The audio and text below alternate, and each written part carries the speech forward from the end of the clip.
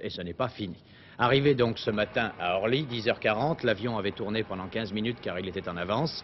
10h40, au pied du tapis rouge, au pied de la passerelle, se trouve M. Jacques Baumel, secrétaire d'État auprès du Premier ministre, pour accueillir Neil Armstrong, que vous voyez descendre en tête, en compagnie de sa femme qui porte un très joli tailleur bleu et rouge. Les enfants des écoles et un groupe de 250 petits Américains ont accueilli, et les astronautes eux aussi, en poussant des hurlements de joie, vous les voyez là-bas dans le fond, accueillant les trois hommes, Michael Collins et Edwin Aldrin, sont là derrière. Les trois épouses s'installent dans l'ISBA, ce fameux salon d'honneur d'Orly, qui va disparaître d'ailleurs, coïncidence, juste après le voyage des astronautes. Dès demain, après Au leur nom du gouvernement français, j'ai le grand plaisir d'accueillir aujourd'hui les trois héros de la plus grande épopée que l'humanité ait connue. Je souhaite la bienvenue à ces trois hommes de la Lune que tout à l'heure Paris accueillera et applaudira.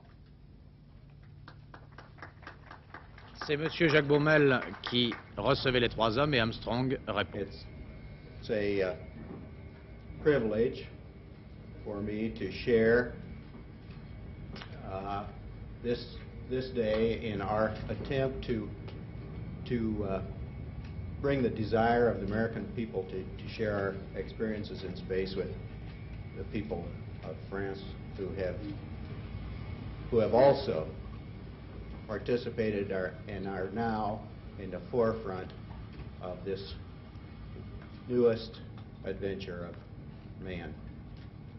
May I permit, permit me to introduce my colleagues?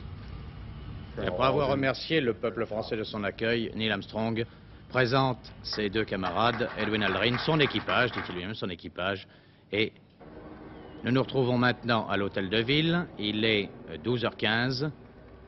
Dans une voiture de l'ambassade, les trois hommes arrivent place de l'hôtel de ville, accueillis par des dizaines de milliers de personnes et par M. Étienne de Véricourt, le président du Conseil de Paris, encadré par les deux préfets de Paris et de police, messieurs Diebolt et Grimaud. Les enfants des écoles ont été conviés à cette manifestation. Il y a de nombreux jeunes Américains. Il y a 42 ans, le 26 mai 1927, sur cette même place, les Parisiens acclamaient dans l'enthousiasme Charles Lindbergh. Et aujourd'hui, voici que les Parisiens sont venus en foule, comme alors, pour saluer chaleureusement d'autres fils de l'Amérique amie.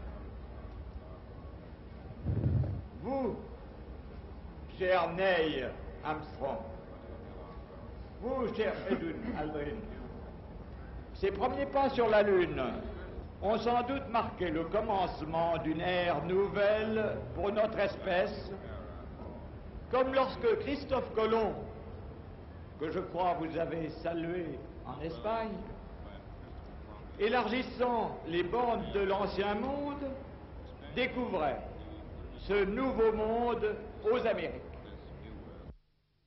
Et après ce discours d'accueil de M. Étienne de Véricourt, le président du Conseil de Paris remettait aux trois astronautes la médaille de vermeil de la ville de Paris, un signe honneur, puisque jusqu'à présent, astronautes et cosmonautes en visite à Paris n'avaient reçu que la médaille d'argent. Puis il signait un parchemin commémorant leur visite à Paris. As our flight extended the boundaries of man's physical world, Paris has, for a thousand years, extended the boundaries of men's minds.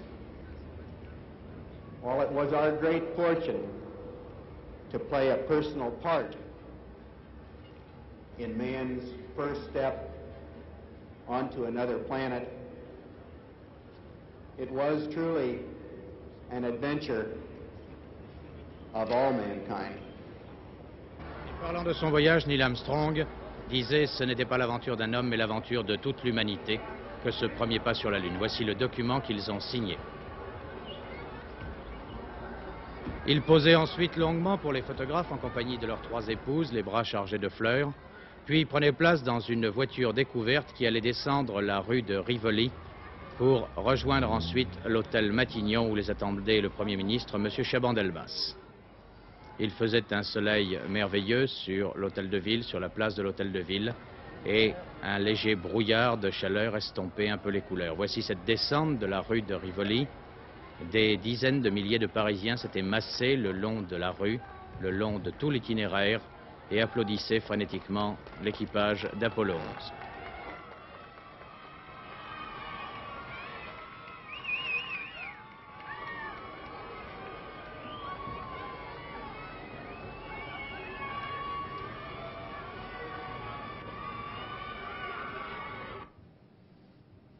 13 heures, l'hôtel Matignon. C'est M. Chabandelmas qui était parti plus tôt du Conseil des ministres pour accueillir les trois hommes, qui les accueillaient effectivement sur le perron de l'hôtel Matignon. Il saluait Neil Armstrong d'un salut champion qui a fait plaisir à Neil. Puis les accueillait dans le grand salon de l'hôtel Matignon où il devait les décorer et leur remettre la croix de chevalier de la Légion d'honneur. Nous n'oublierons jamais Monsieur Armstrong jamais.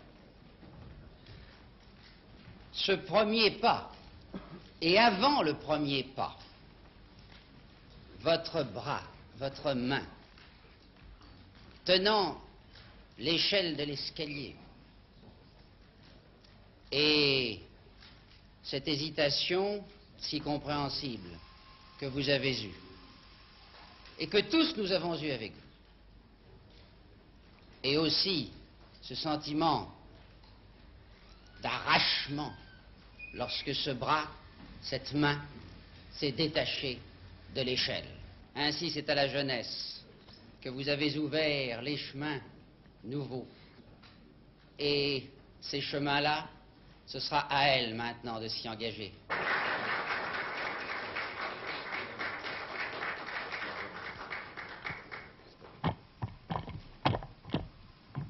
Armstrong, au nom du président de la République, et en vertu des pouvoirs qui nous sont conférés, nous vous faisons chevalier de la Légion d'honneur.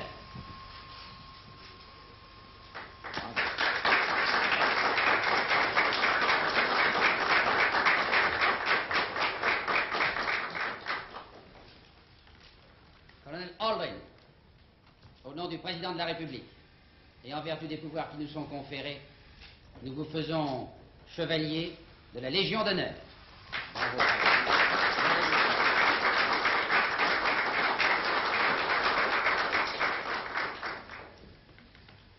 Colonel au nom du président de la République, et en vertu des pouvoirs qui nous sont conférés, nous vous faisons chevalier de la Légion d'honneur.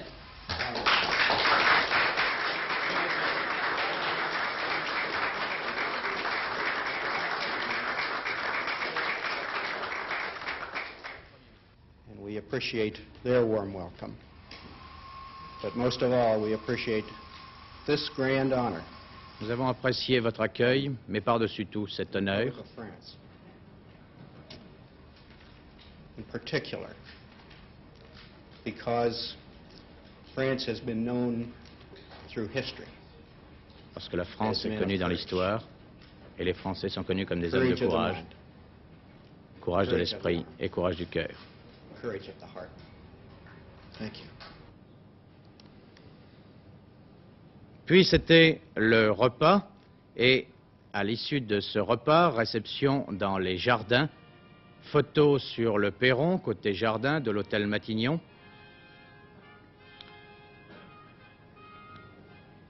Un, un, grand nombre de personnalités étaient là présentes. Vous voyez ici Jacqueline Oriol, derrière André Turcal, le premier pilote de Concorde, directeur des essais en vol, et bien sûr, le supplice des autographes, ici pour Edwin Aldrin, ce qui ne l'empêche pas de fumer tranquillement sa pipe. Cette réception devait durer jusqu'à 14h45, puis les trois hommes et leurs épouses devaient passer à l'hôtel Crillon, le temps de se changer pour se rendre à l'Élysée. Geste affectueux du président Chaban-Delmas à l'égard d'Edwin Aldrin, pour la plus grande joie des photographes, comme vous le voyez. 15h15, l'Élysée. Réception officielle par le président de la République, M. Georges Pompidou, de l'équipage d'Apollo 11. Réception très rapide, tout au moins pour nous les journalistes, massés dans le salon des ambassadeurs, où le président devait accueillir les trois hommes en compagnie de l'ambassadeur des États-Unis, M. Sargent Shriver, et à l'issue de cette réception officielle, les recevoir ensuite dans son bureau pendant près de 40 minutes.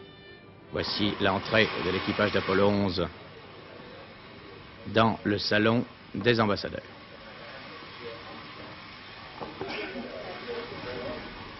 Après s'être fait présenter l'équipage et les trois épouses, M. Georges Pompidou devait poser en compagnie des trois hommes pour les photographes et dire notamment Je regrette de ne pas avoir été sur la Lune avec vous, ça aurait été une meilleure photo, mais hélas, je suis trop vieux. Eh bien, messieurs, je suis heureux de saluer en vous les héros de la plus grande aventure humaine. Voilà, madame.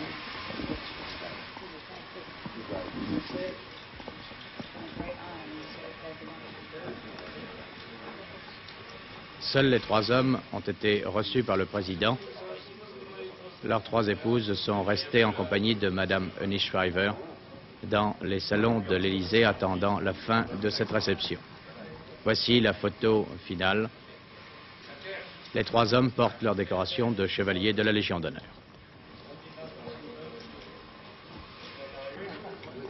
Et c'était la sortie. Nous avons pu rapidement poser une question à Neil Armstrong et lui demander qu'est-ce qui est le plus dur pour vous, un voyage autour de la Lune ou un voyage autour de la Terre? Et Neil Armstrong s'en est sorti très bien en disant un voyage à Paris.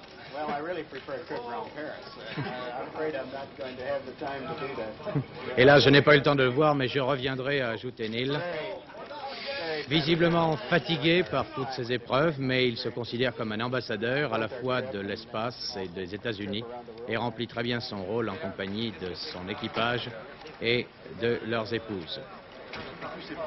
Et à 16 heures, c'était la sortie de l'Élysée, après cette courte déclaration, et dans le faubourg Saint-Honoré, des milliers de personnes s'étaient massées pour à nouveau applaudir l'équipage d'Apollo 11. Vous allez en juger par les quelques images qui suivent.